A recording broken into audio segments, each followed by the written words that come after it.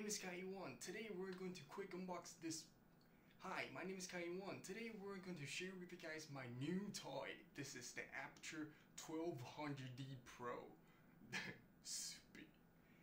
Hi, hi, my name is Kai1. Today, hi, Hi, my name is Kai1. Today we're going to share with you guys my new toy. This is the Aputure 1200D Pro. Yeah, so today we're going to do a quick unbox video and share with you guys all the specs that are not on the spec sheet. Just like the reflector, individual reflector weight, that kind of stuff. So let's get started.